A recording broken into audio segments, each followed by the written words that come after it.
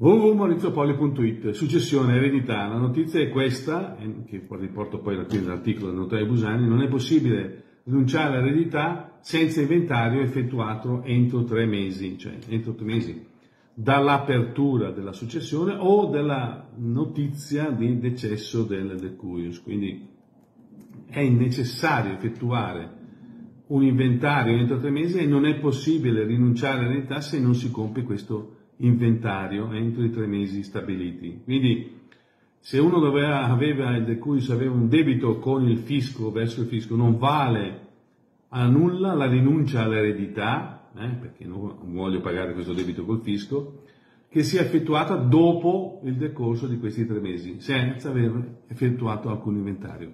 È la sentenza della Corte di Cassazione all'ordinanza numero 36.080 del 23 novembre del 2021. Qui l'articolo del notaio Busani. Alla prossima!